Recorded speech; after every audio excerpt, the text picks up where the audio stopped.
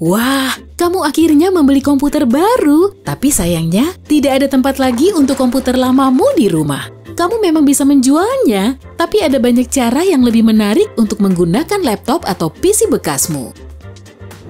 Ubah menjadi server rumah. Alih-alih menyimpan semua file di hard drive komputer baru, kamu bisa membuat grup rumahan dan menghubungkan semua perangkatmu dalam satu jaringan. Kemudian, bagi drive komputer bekasmu ke seluruh jaringan dan semua orang di rumahmu akan bisa melihat dan menggunakan file yang tersimpan di sana serta berbagi file mereka sendiri. Ini akan sangat berguna kalau anggota keluargamu memiliki perangkat berkapasitas penyimpanan kecil. Dengan begini, mereka selalu bisa menyimpan file baru di penyimpanan bersama ini.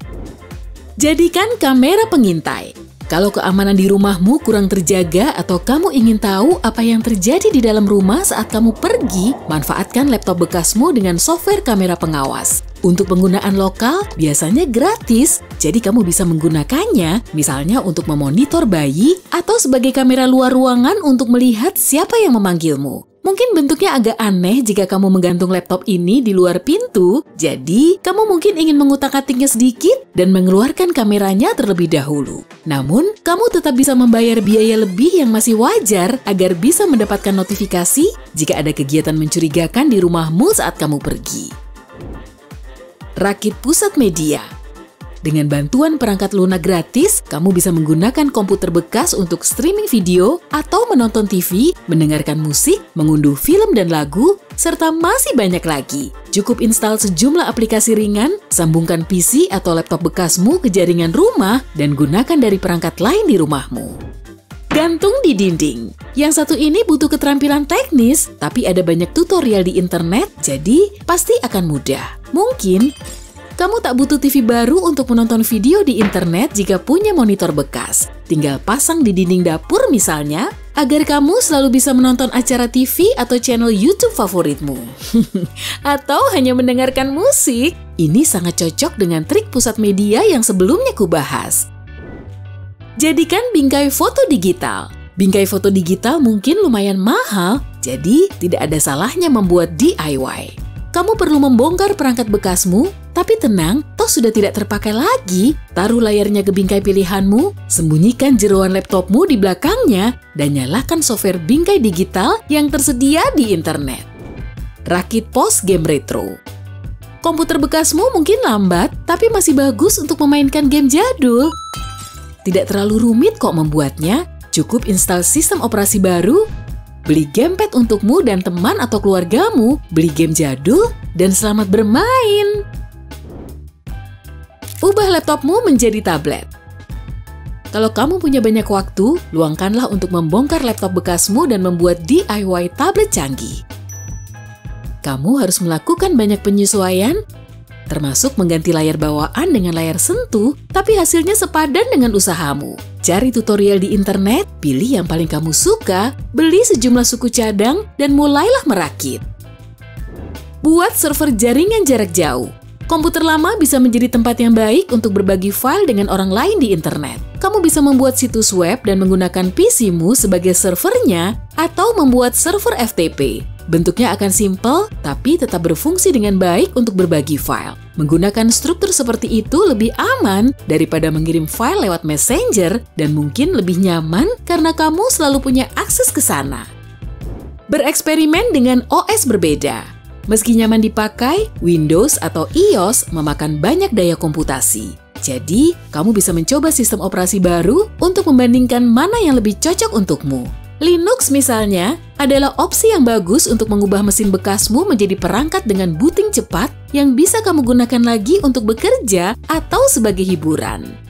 Ada juga Chrome OS yang sedang dikembangkan dan patut dicoba. Aku tidak menyarankanmu bereksperimen dengan komputer utama, tapi komputer bekasmu sangat cocok untuk percobaan semacam ini karena kamu juga tidak terlalu membutuhkannya lagi. Buatlah monitor kedua. Saat laptop atau PC-mu rusak, biasanya monitornya masih berfungsi, jadi bisa digunakan untuk penunjang kerja atau bermain game. Untuk PC desktop, super mudah, cukup pasang monitor lamamu ke sistem yang baru. Untuk laptop, ini agak lebih rumit, kamu harus melepas tutupnya dan menyambungkannya lagi. Tapi sebenarnya tak serumit bayanganmu. Kamu juga bisa memasang DIY perangkat keras komputasi padanya seperti Raspberry Pi dan membuat perangkat buatan tangan baru. Buat proyektor seharga Rp70.000. Jaraknya tidak akan terlalu jauh, tapi tampilannya masih keren. Kamu butuh laptop yang masih berfungsi dengan kecerahan layar yang disetel sampai maksimal, kotak kardus untuk tempat menaruhnya, lensa Fresnel, kamu bisa membelinya di internet seharga beberapa ribu rupiah, dan lakban. Singkatnya, potong bagian luar satu sisi kotak, taruh lensa di dalamnya dengan bagian rata menghadap luar, dan rekatkan ke kotak. Karena lensanya membuat gambar yang diproyeksikan terbalik secara horizontal dan vertikal, kamu harus membalikkan laptopmu. Gunting saja sisi kotak yang berlawanan, lalu pasang laptop dengan keyboard tergeletak di atas kotak. Membuat router darurat. Jika routermu tiba-tiba rusak tanpa hotspot WiFi, kamu pasti mati kutu. Kamu harus menghubungkan semua perangkat ke dalam satu jaringan rumah dan di pengaturan laptop bekasmu, pilihlah sebagai hotspot. Jangan lupa menghubungkannya ke kabel WAN agar berfungsi dengan baik. Putar kaset DVD atau Blu-ray. Aku tahu, sekarang kita bisa streaming video kapan saja. Tapi untuk kamu yang suka mengumpulkan salinan fisik film favorit, mungkin ingin menggunakan laptop atau PC bekas ini sebagai pemutar DVD atau Blu-ray cadangan. Sebagian besar laptop memiliki pemutar CD yang bisa memainkannya, jadi, yang perlu kamu lakukan hanyalah membeli sistem akustik yang bagus karena suara dari laptop biasanya kurang jernih. Gunakan di jalan. Belilah kabel untuk menghubungkan laptop lama ke mobil dan kamu bisa membuat komputer mobil sendiri. Kamu bisa menggunakannya untuk mendengarkan musik dan podcast atau menaruhnya di belakang sebagai sistem hiburan untuk penumpang atau anakmu. Jika gadgetmu adalah netbook kecil, kamu pun bisa menggunakannya sebagai perangkat navigasi GPS andai layar ponsel pintarmu terlalu kecil. Berikan kepada anggota keluarga yang agak gaptek, supaya mereka tambah pusing. Tidak, aku bercanda. Orang-orang tua sering kali kesulitan memahami teknologi, dan jika kamu punya nenek atau kakek yang sering menelponmu setiap kali membutuhkan bantuan soal komputer, kamu bisa menginstal Windows baru pada perangkat lamamu, mengatur family access, dan berikan kepada mereka. Dengan begini, kamu bisa langsung membantu mereka dengan mengakses pengaturan perangkat mereka dari laptop bekasmu via internet untuk membatasi penggunaan atau penginstalan aplikasi tertentu, dan masih banyak lagi. Gunakan daya komputasinya untuk fungsi lain. Kamu mungkin pernah mendengar tentang SETI at Home, yakni eksperimen ilmiah di UC Berkeley yang didedikasikan untuk mencari kecerdasan luar angkasa karena tidak banyak yang ditemukan di bumi. Kamu bisa turut serta dengan membuat akun di sana dan menghubungkan komputer bekasmu ke jaringan di seluruh dunia untuk membantu tujuan mereka. Saat kamu memasang program gratis darinya, komputermu akan mulai mengunduh dan menganalisis data dari teleskop. Siapa tahu, mungkin laptop bekasmu bisa membantu ilmuwan menemukan alien.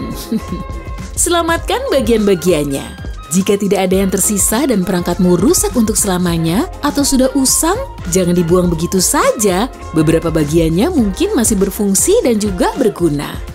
Jika suka DIY, kamu bisa menganibalkannya di perangkat lain dan jika tidak, alat tersebut masih bisa dijual. Lihat harganya di e-commerce dan kamu mungkin akan terkejut akan hasilnya baru ingat kalau kamu punya PC desktop yang sudah rusak. Cobalah rakit PCmu sendiri. Membeli suku cadang baru biasanya jauh lebih murah daripada merakit PC baru dari nol. Semoga beruntung ya!